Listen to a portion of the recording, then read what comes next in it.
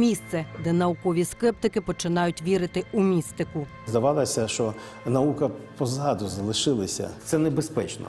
Там щось є надзвичайна така сила, яку ми не можемо контролювати. Палац королів, австро-угорська в'язниця, катівня НКВС.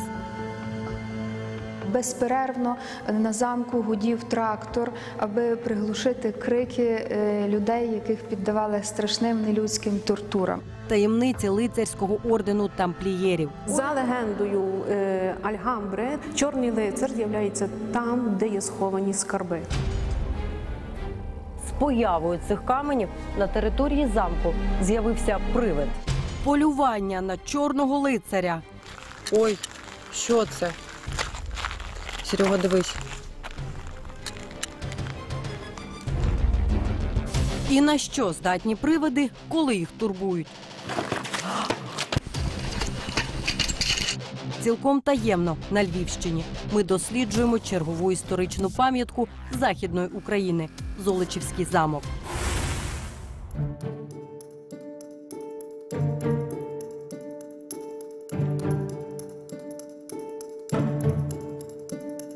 Золочівський замок е, збудований у так званій неоголандській системі оборонних укріплень. Е, На той час це була найкраща система і практично невразлива. З висоти пташиного польоту замок має вигляд чотирикутника, захищеного високими валами і п'ятикутними бастіонами. На подвір'ї двоповерховий палац. А поруч іще один китайський. Міцна кам'яна фортеця на той час була нездоланною для ворога. Татарські орди, які нападали на наші землі, як правило, обминали Золочівський замок. Вони його здобути не могли. Замок був е, здобутий тільки один раз 1672 року після шестиденної облоги десятитисячного турецького війська.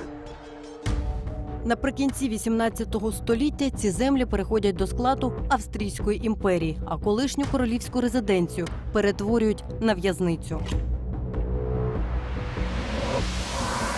Ці розкішні колись кімнати, королівські кімнати перетворили на камери. Кожне вікно відповідало одній камері. Посередині був тюремний коридор, вікна пробили, е, стіни попробивали. Наглядач ходив, пильнував через ці віконечка за е, порядком у камерах. І тюрма була розрахована на 196 в'язнів. Це за австрійських часів. Ситуація міняється у часі війни. Через Золочів пройшла перша, потім Друга світова війна. Перша світова війна це російська в'язниця, це австрійська в'язниця, польська, українська. В міжвоєнне 20-ліття тут вже е, стає політична в'язниця. Е, це часи польської держави.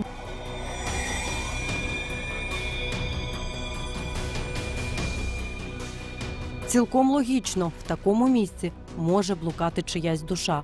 Музейники охрестили примару чорним лицарем. За легендою е, Альгамбре, чорний лицар з'являється там, де є сховані скарби. До цієї легенди ми ще повернемось. Та спочатку одразу до головного. Зараз на годиннику перша ночі, і ми починаємо наші пошуки чорного лицаря саме з підземелля. Вже маючи певний досвід у пошуку примар, цього разу цілком таємно використає сучасні технології. Тепловізор, під'єднаний до смартфону, має збільшити шанси зафіксувати аномалію. Цей тепловізор чуттєвий на температуру, холод або тепло. Якщо буде привид, то має з'явитися такий синьо, синій такий холодний колір. Якщо це людина, то колір, звісно, буде ось такий теплий. Повсюди суцільний морок, навколо залишки надгробних плит. Я уважно вдивляюся у монітор, аби нічого не пропустити. Таке враження, що щось воно нібито ходить, як тінь якась туди-сюди. Ось, подивіться. Бачите? Ось ворушиться, знову зникає чіткість зараз. Ось воно. Ось, ось. Нібито ховається там у кутку. Так, але там нічого немає. Ті, кому доводилося бачити примару невідомого чоловіка, запевняють, його поява збігається з появою в замку гігантських каменів. Це таємничі камені Золочівського замку. Кажуть, що вони належали лицарському ордену тамплієрів.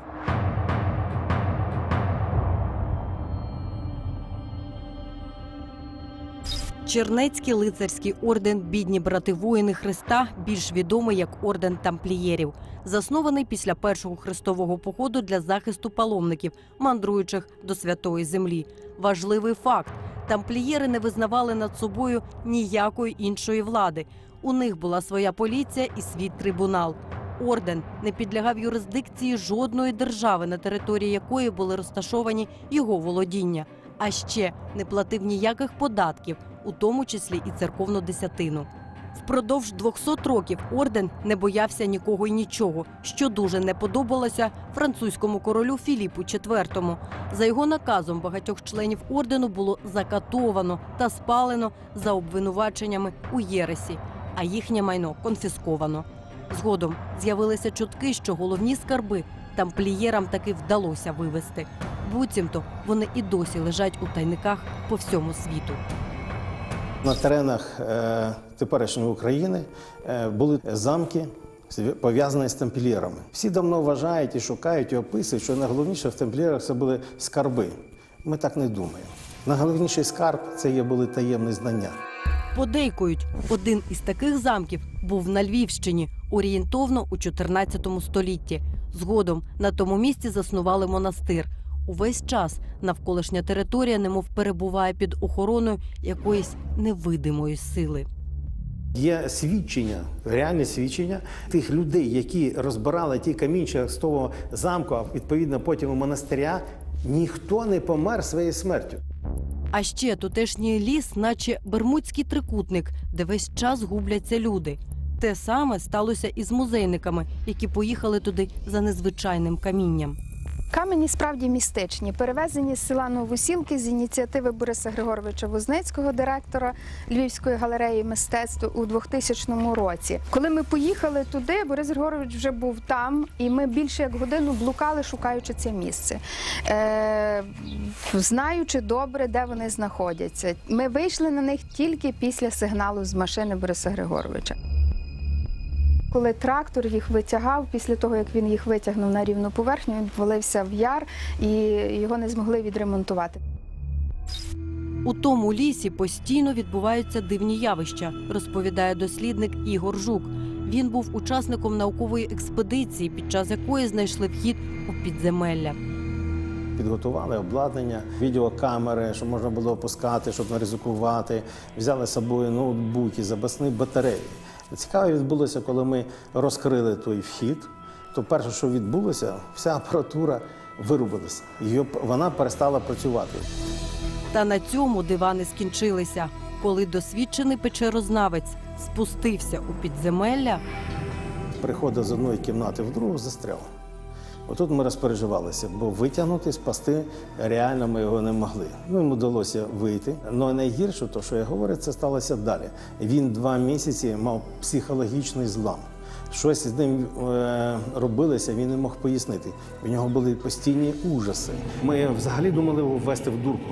Він вийшов з того стану за допомогою е, знахарів. як і всі науковці, учасники експедиції вірять лише фактам. Однак після низки дивних подій повірили у надприродне.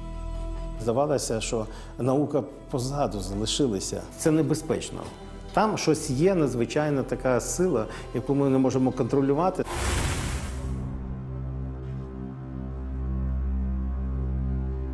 Висічений тайнопис досі ніхто не може розгадати. Дехто вважає, що це карта, інші, що це зашифроване послання. Але саме з появою цих каменів на території замку з'явився привид.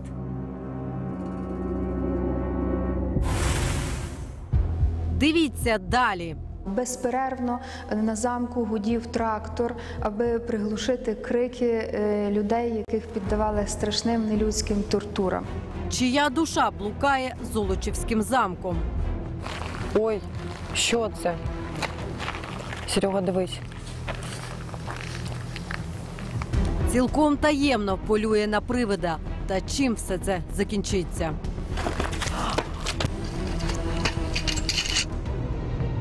Відкриття, яке не вкладається в голові.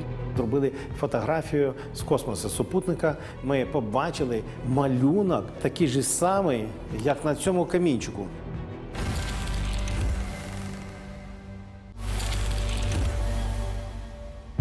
Відкриття, яке не вкладається в голові. Зробили фотографію з космосу супутника. Ми побачили малюнок такий же самий, як на цьому камінчику. Місце, де наукові скептики починають вірити у містику. Безперервно на замку гудів трактор, аби приглушити крики е, людей, яких піддавали страшним нелюдським тортурам. Чия душа блукає Золочівським замком? Ой, що це? Серега, дивись. Цілком таємно полює на привида. Та чим все це закінчиться?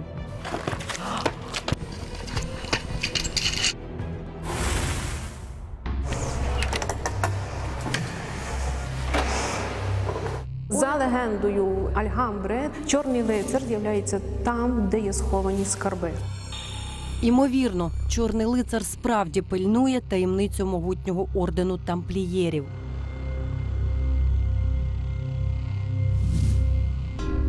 Під покровом ночі ми продовжуємо досліджувати темні закутки замку. Час від часу тепловізор фіксує якісь нечіткі силуети. Пізніше все стане на свої місця. Та поки що Ходімо ще далі.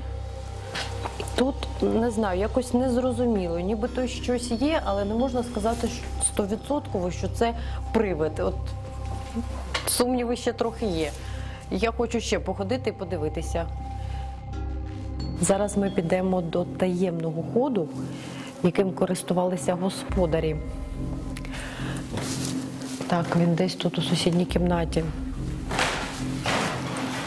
А За допомогою цього проходу можна було прослуховувати розмови в інших кімнатах, також сховатися, якщо це потрібно, або просто переміститися на інший поверх. Так, ось ці двері. Спробуємо сюди зайти.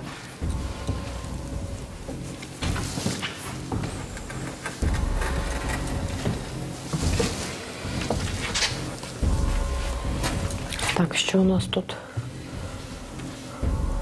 Ха, дивно. Тепло звідти показує. І знову ніяких аномалій.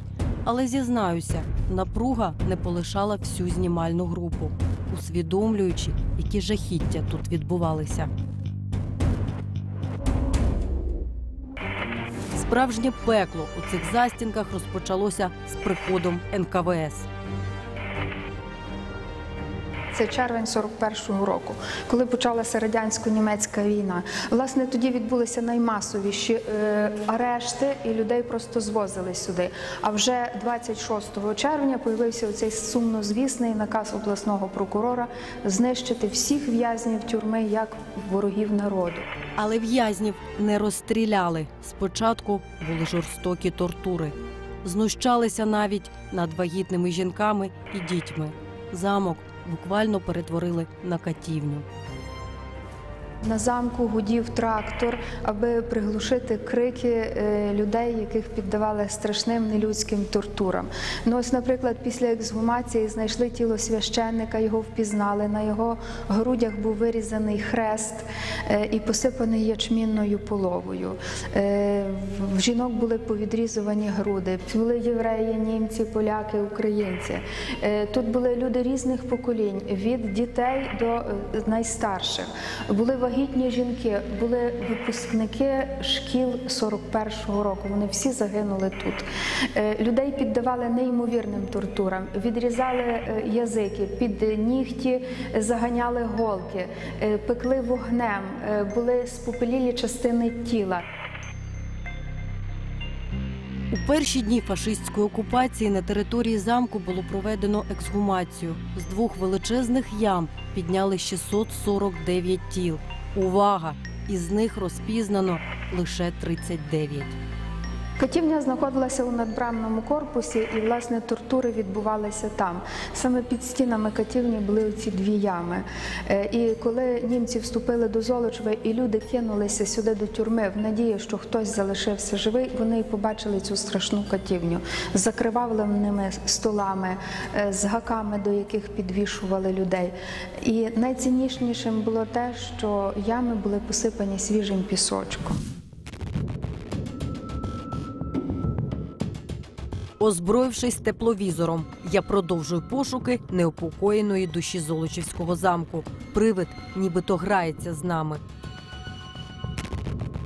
Ми вийшли на подвір'я. Ніхто вже не сподівався, що на нас чекало попереду, чи краще сказати, чекав. Дивно, але вдень цих слідів не було. І зараз, окрім нас, тут нікого немає. Йдемо в тому напрямку.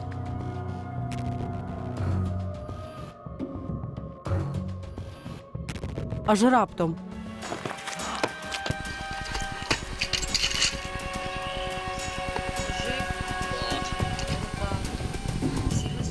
І це буквально на рівному місці.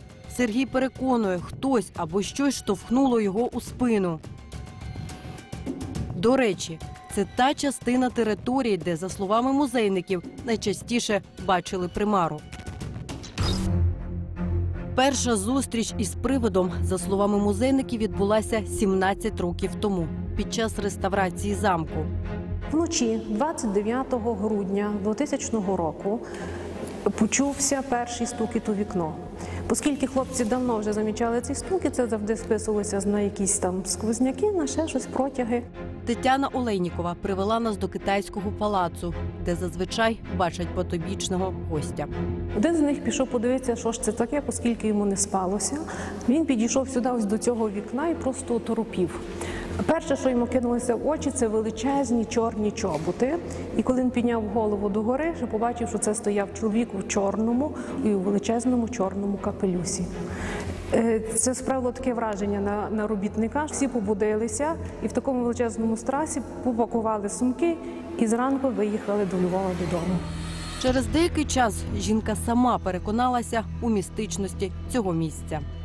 Це був післяріздвяний час, е, оскільки наші робітники поїхали в довготривалу відпустку. Ми деякі роботи робили самі. Я була тоді одна, я почула в сусідній кімнаті три важких кроки і щось гупає. Таке враження, що хтось дуже несе в руках щось важке і не може донести.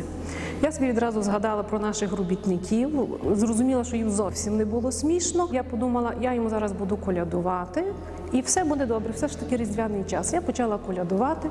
Як я колядувала, все було спокійно.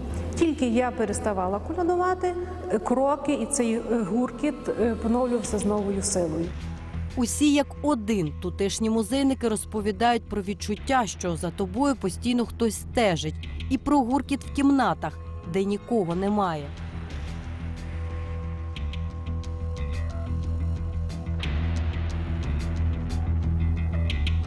Після почутих моторошних історій вдень, вночі жахи примножуються.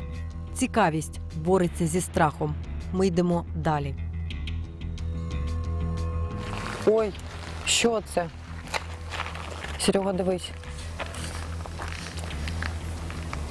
Ти бачиш це, чи це в вже галюцинації?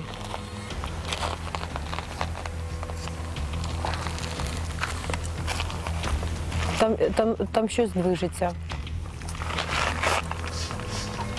Ти бачиш, ось тут щойно щось було, ось тут. Синього кольору тут щось було. Там нічого немає. Давай перевіримо запис. Там реально щось було. Ось цей фрагмент на моніторі. Бачите, тінь синього кольору вздовж стіни, ось цієї стіни. Такий коротенький фрагмент, і ось вона вже зникає. Я не можу стверджувати, чи існують привиди насправді, а тим не менш Реально прилад зафіксував рухи і колір холодний, синій. Технікою не посперечаєшся. Біля китайського палацу тепловізор фіксує якусь холодну субстанцію, що рухається. Ось він, чорний лицар, який охороняє скарби ордену тамплієрів.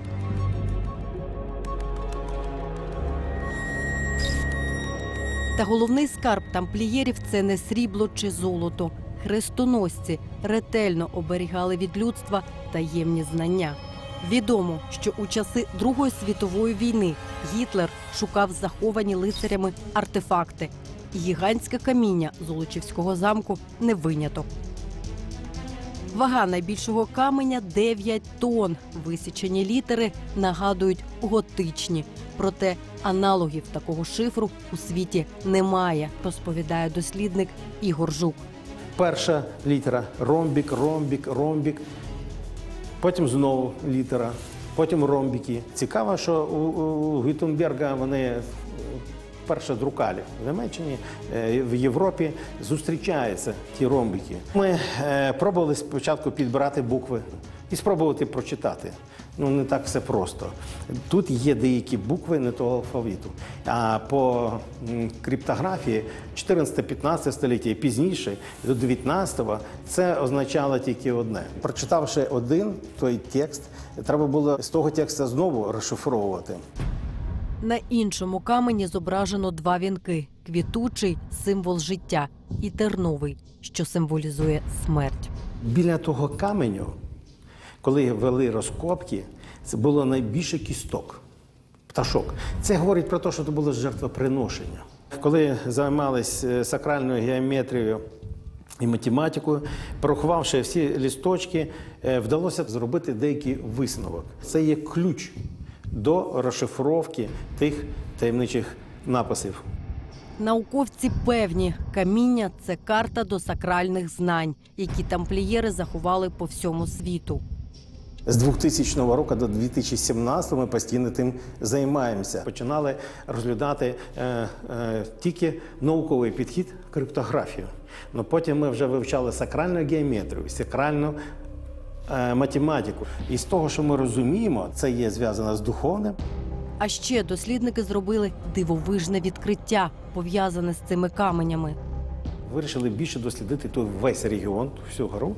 То відповідно було зробили фотографію з космосу супутника і попали на дуже цікавий момент.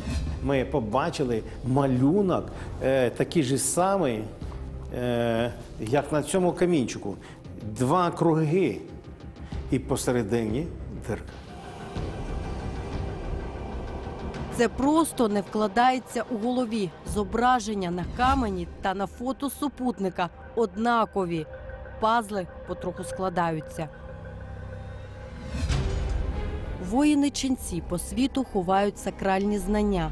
Те, що одна із хованок в Україні доводять камені з таємничими знаками.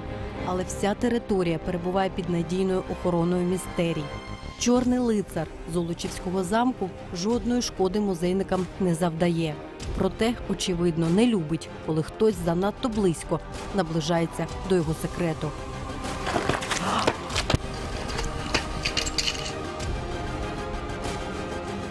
Імовірно, тому вже 17 років науковці ламають голови над древнім тайнописом. Може, це той самий випадок, коли кажуть, що деякі таємниці мають лишатися нерозгаданими.